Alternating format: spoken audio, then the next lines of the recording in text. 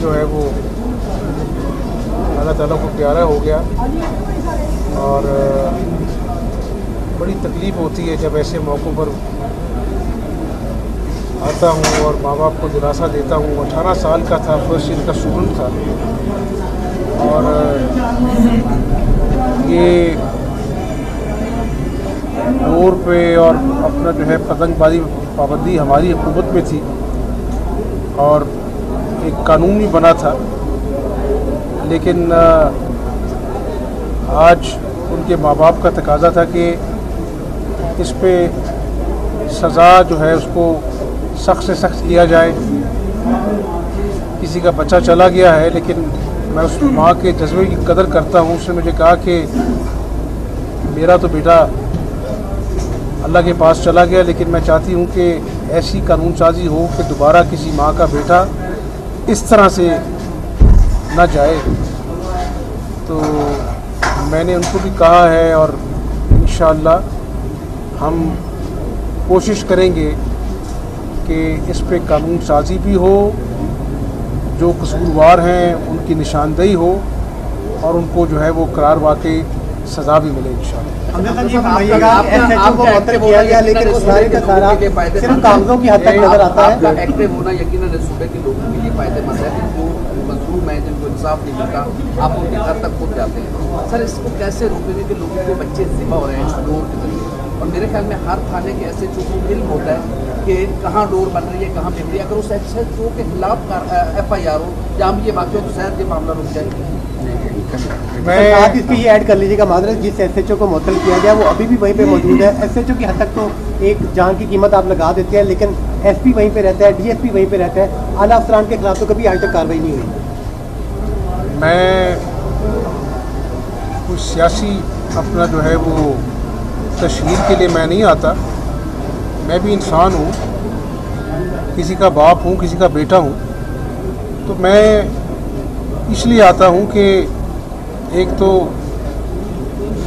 अल्लाह राज़ी होता है और फिर उस माँ का या उस बाप का जो दर्द महसूस कर कर एक नया जज्बा, एक नया बलबला मेरे अंदर भी पैदा होता है कि मैं इनके दुखों का मुदावा करूँ, अल्लाह को राज़ी करूँ और मुजरमों को कैफरे किरदार तक पहुंचाऊं। तो आपने सारी बातें ठीक की हैं। हम इन कसूर वालों की निशानदेही करेंगे।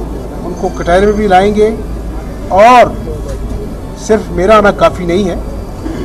ऐसा कानून बने और उस पर अमलदारी हो, ताकि दोबारा कोई मुबीन जो है, वो किसी माँ का लखते जगह जो है, वो इस तरह से अपना जो है ना, वो ना जाए दुनिया से।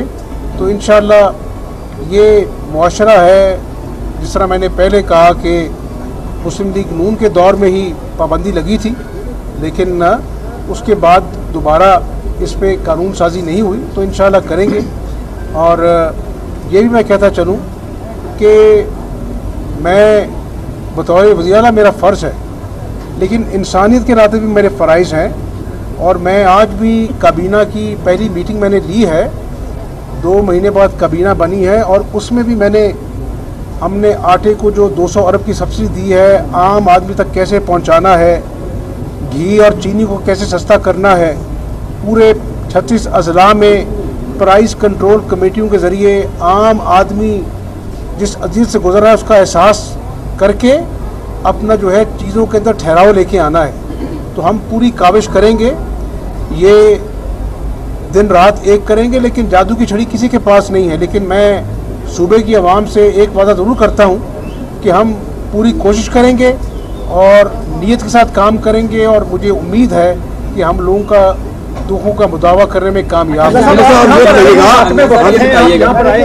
खानदान के, के को दिलासा देने के लिए यकीन एक मैसेज अच्छा मैसेज है। लेकिन एडमिनिस्ट्रेटिवली इशू ये है कि कम्युनिटी और पुलिस के दरमियान गैप बहुत ज़्यादा है।